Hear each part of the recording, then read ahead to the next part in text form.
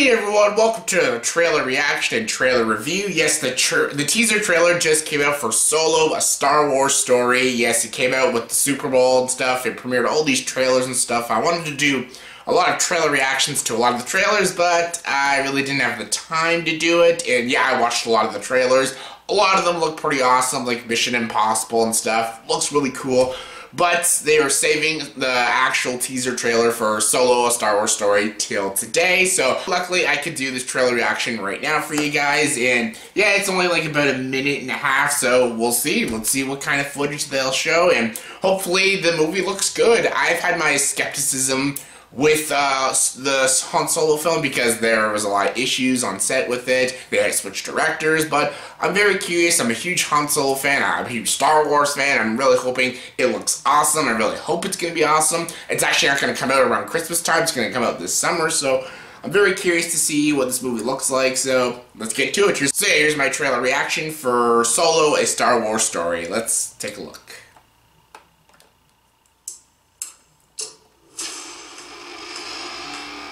So far, so good. I've been running scams on the street since I was 10.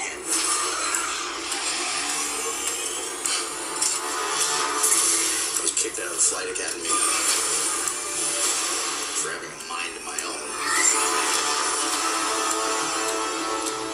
I'm gonna be a pilot. Best in the galaxy. Hey, kid.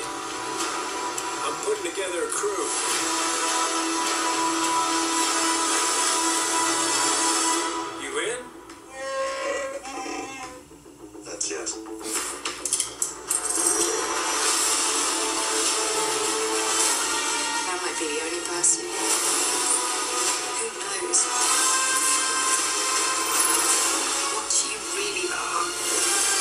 Mother of Dragons.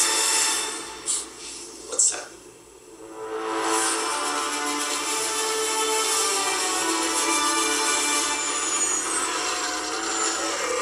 Get ready.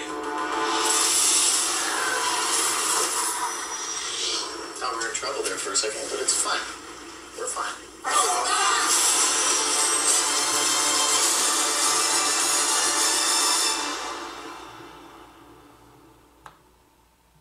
Sweet. Cool. Alright, put this down.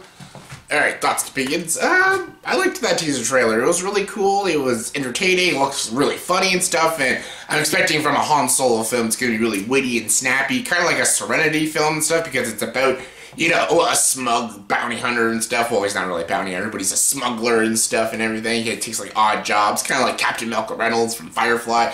So I'm expecting sort of that slick style, that kind of humor, witty humor and stuff the actor that plays him looks really good, and yeah, I think he can do a good job. It's got Woody Harrelson, it's got Emilia Clarke, it's got Donald Glover, a lot of a huge cast, a really great cast. It looks entertaining. The visuals look good.